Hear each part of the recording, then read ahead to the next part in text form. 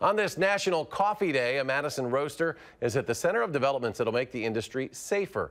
Just Coffee is a successful Wisconsin-grown company that now does business from coast to coast. It falls into the category of specialty coffees, the fastest growing segment of that business. And new tonight at 6, Dave Delozier joins us from the newsroom with something you don't always hear about, a company that went out of its way to do the right thing, Dave.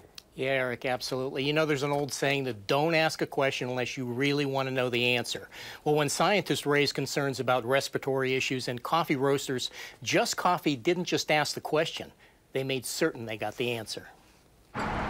when we first started, I was the only employee. That was 15 years ago when Matt Earley met coffee farmers in Chiapas, Mexico, who were only getting 25 cents for a pound of coffee. Earley decided instead to pay them a fair price. When you know somebody and you see they're struggling and you have an opportunity to impact that, then, you know, you want to do the right thing. Just Coffee turned fair trade into a thriving business that now sells coast to coast. They've also gone from one employee to 35 to do the right thing by them. When scientists raise questions about respiratory issues associated with coffee roasting, Earley wanted to know if they were right. So when we found that out, we were the first roaster of our size in the country to contact the CDC NIOSH team and invite them in because we wanted to know.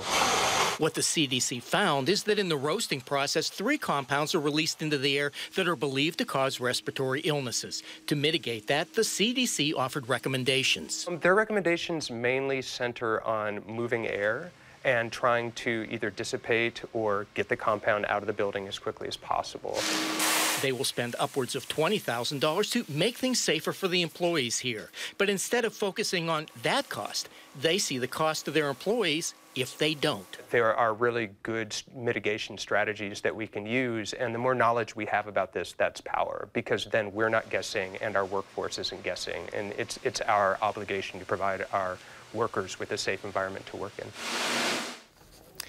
Now, the findings are also getting the attention of others in the coffee roasting industry. Matt Earley says he's heard from a number of roasters who understand this must be addressed.